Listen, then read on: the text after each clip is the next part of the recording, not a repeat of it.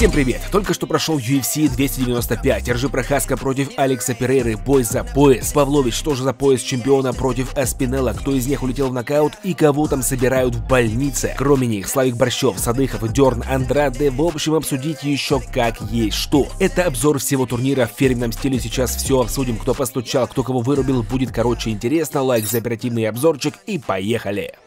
Начинаем турнир с боя Джошуа Ван и Кевина Борхаса. Честно, карт хоть и номерной, но бои кроме главных тянут на средний Fight Night. Поэтому, с вашего позволения, я затрону самые интересные бои и про ноунеймов буду краток. Джошуа Ван, молодой нокаутер, ему всего 22 года, у него одна победа в UFC и побил он кого? Жалгаса Жумагулова. Как вы понимаете, шутки с ним плохи. Кевин Борхас или Борхас только дебютирует, но у него крутая манера боя, либо вырубает он, либо его. Смотрим. И это был классный бой. Джошу на старте много нахватал лишних ударов, упал на задницу. Кевин очень круто двигался и жарил как пчела. Но со второго раунда Джошуа пошел давить, перестроился, не давал дышать и думать. Обрезал углы, насыпал кучу ударов, а прыгучий любитель колен и вертушек начал уставать. Он, конечно, тоже крутой, острый, резкий, скилловый, но со второго раунда его просто задавили. Ну и, собственно, со счетом 2-1 он бой и забрал. Следом ребята из легкого Джаред Гордон против Марка Мэтсона. Мэтсон это олимпийский борцуха, серебро по греко-римской в Рио, и вроде как в UFC у него тоже хорошо получалось, 4 победы в ряд, но вечно как-то все близко, вязко, тяжело, и последний бой он вовсе проиграет Сабам Гранту Доусону. Гордон такой, звезд с неба не хватает, чередует победы и поражения, хотя неплохо работает на руках. Начал Мэтсон словно бульдозер, он шел вперед, накидывая удар за ударом. Да, они были корявые, где-то мимо, но их было куча. А главное, он зажимал еще в тайский клинч, висел сверху, бил колени, и все для Гордона было прям, ну, плачевно. Удивительно, что Мэтсон не шел бороться от слова совсем, и это, наверное, было зря. В конце первого раунда в клинче сначала Гордон цепанет его таким коротким апперкотом, но клинч Марк не станет разрывать. Джаред поджимает его к сетке, бам-бам, и правым боковым бу-бух за ухо, и тот падает в тяжелейший нокаут. Вот это да, никто не ожидал, и казалось, что ну на крайняк Мэтсон пойдет бороться, там переживет тяжелые моменты, но, видимо, не сегодня. Гордона с победой и нокаут для него это очень большая редкость. Далее бой уже был, да, покруче. Здесь Слава Борщев вышел биться против Назима Садыхова. Садыхов, азербайджанский боец, в UFC пришел в этом году, уже добыл две победы, кстати, две досрочные, и задушил он в последнем Терренса Макини. Борщев наконец оправился после поражения, где его завозили на конвасе, у него в UFC уже 2-2, и он откровенный такой ударник. Очень это сильная его сторона, но борьба крайне слабое место, это тоже все знали. И наконец мы увидели бой, где никаких не было салочек. Садыхов принимает рубилово и пошло-поехало. Борщев разбивает короткими боковыми корпус голова, причем вкладывается в каждый удар, а на разрыве высекает лоу-киками. Назим старался отвечать на все, держит руки высоко, не оставляет пропущенные без ответа и очень круто перекрывается в стиле такого парье. Они оба в стойке искали нокаута и это было прекрасно. Борщев жестко отобьет ему переднюю ногу, стал добавлять и хайкики, путать соперника. Садыхов больше работал на прямых, он пробивал куда меньше, его точность была не самая лучшая, но этого хватает. Чтобы во втором раунде сначала пробить левый висок, Борщева зашатает. Он в грогги, пританцовывает и туда же залетает хайкик прямо за ухо. Точно так же, как Махачев пробил Волка. Борщев рухнул в тяжелый нокдаун, но пытается вязаться. Открывается у него мощная сечка, весь в крови. Он встает, пытается отвечать, но пропускает фронт в стиле силовый, снова теряется перевод от Садыхова. Он его пытается добивать, и каким-то чудом Слава все переживает и просто безумие поднимается. В третьем раунде Борщев поднял руки еще выше, и снова пошли обмены. Сечка, конечно, у Славы там была примерно сантиметров 5, но он не пасовал и искал свой нокаут каждую секунду. Он пробьет десяток тяжелых ударов и едва не сотворит камбэк, но Садыхов тоже страшный воин. По итогу бой дошел до решения, где я отдал первый и третий Борщеву, а второй раунд 10-8 Садыхову. И благо судьи сегодня посчитали ровно так же, что максимально было здесь справедливо. Это классно. Ну а эти ребята заслужили бонус за бой вечера 100%.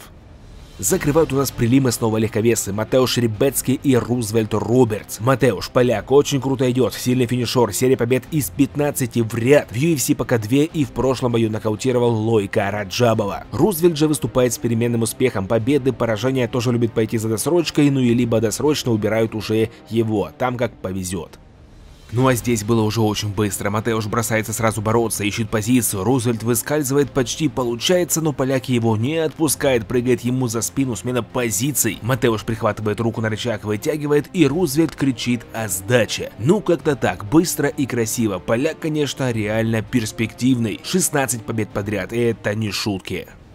Дальше уже идем по главным поединкам. Вот такой вот бой открывал главный карт Пэт Сабатини и Диего Лопес. Диего это зрелищный новичок, финишер, парень с характером, тот самый, который дебютировал против Марсара Евлоева и дал ему очень тяжелый бой, а после быстро закроет то поражение, сабнув Гевина Такера. Сабатини тоже хлебом не корми, только дай подраться. 5-1 в UFC, скручивает пятки, душит со всех углов и почти все бои в карьере закончил он досрочно.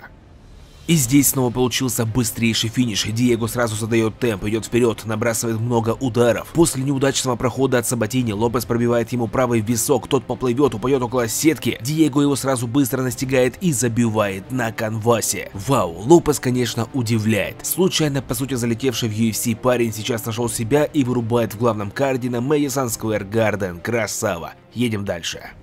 Следом ребята снова из легкого дивизиона. Мэтт Фривола против Бенуа Сен-Дени. Фривола все знают как жесткого, неуступчивого такого Робби Лоулера нашего времени. Он взрывной, всегда идет вперед и у него уже три победы нокаутом в UFC подряд и все они в первом раунде. Бенуа ровно из такого же теста, у него все победы закончились финишами, он либо душит, либо вырубает и серия в UFC у него уже из четырех, два нокаута, два саба. В общем эти ребятки прям были на подбор.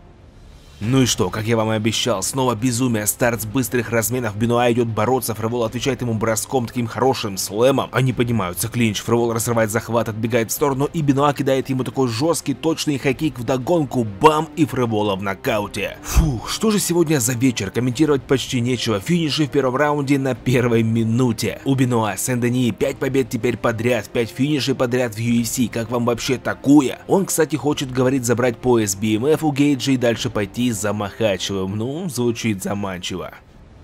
Дальше, наконец, сюда ждались девушки Джессика Андраде против Маккензи Дюр. Бывшая чемпионка в край потеряла хватку и сейчас идет на серии из трех досрочных поражений подряд. Такого у нее еще никогда в карьере не было. Дюрн смотрится получше, она чередует победы и поражения, но она перспективная джиссерша и все верят в ее звездное будущее.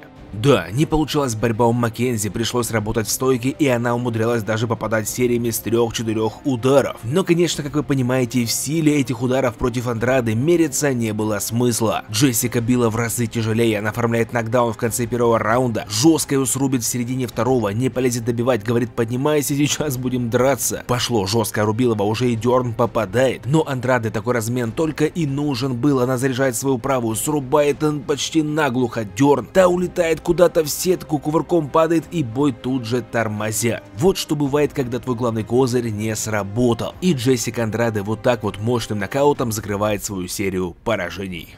В коумейне UFC 295 был невероятно интригующий поединок. Два мощных тяжеловеса Сергей Павлович и Томас Пинел сошлись в битве за временный пояс. Насколько же они были похожи, у обоих 6-1 в UFC, все бои закончили они досрочно, оба на верхушке дивизиона и это тот самый случай, когда в UFC титульник дают не звездному бойцу, который обскакал всю весовую за счет медийки, а именно по спортивному, вот именно два максимально достойных мужика. Павлович нокаутер до мозга костей, как говорится, никто перед ним не может устоять стоять. А вот Том Аспиналл уже более разнообразный, много двигается в стойке, резко взрывается, атакуя. А если надо, то идет и в борьбу и легко там тебя может придушить. В общем, бой на бумаге казался невероятно крутой. Давайте смотреть. И это было молниеносно. Том начинает с лоу-киков, он отбивает ему голень. После Павлович сокращает дистанцию и разок хорошо пробивает, но атаку развивать не спешит. Тем временем сам Том влетает с правым прямым, попадает в висок, потрясает следом еще один удар, Палыч падает и бам, гвоздящий, добивающий панч. Ё-моё, вот это просто жесть. Без валидола, конечно, не обошлось. Весь бой был натянут как струна и до одного по сути попадания, но сегодня зарешала, друзья, скорость. Эх, блин, поздравляем Тома. Теперь он чемпион он, а вернется сильнее.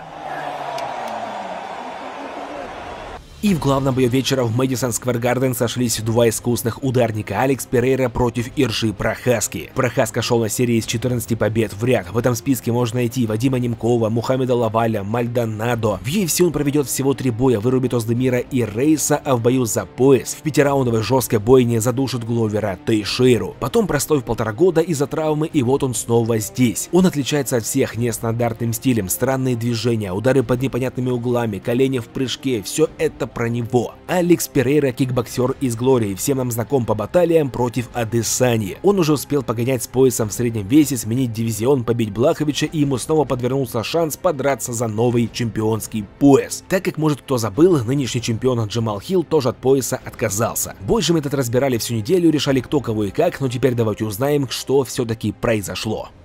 Начался бой с финтов Прохаски, но парочка тяжелых лоукиков его заставили включить борца, где он сделает перевод Перейре и полежит на нем до конца раунда. Во втором раунде Иржи уже включается, он чувствует себя вольно, идет атаковать, уже не боится разменов, бьет по 3-4 удара в серии. Перейра почему-то пятится и кажется у него проблемы, но потом мне показалось, что как будто бы он его вытягивает наоборот, на эти самые обмены. Перейра повторяет план Адесани, который сработал против него же, и бам, левый сбоку, Перейра в нокдауне упал. Паутан пробивает короткие локти, бам-бам бам-бам, и рефери тормозит эту встречу. Честно, мне показалось, что можно было бы дать еще время Прохаске пожить там, выкрутиться. Ну, как-то как будто бы рановато, напишите, как вам показалось. Ну, Алекса Перейру с победой, красава, два пояса UFC уже взял в двух дивизионах, ровно как и в Глории, легенда получается.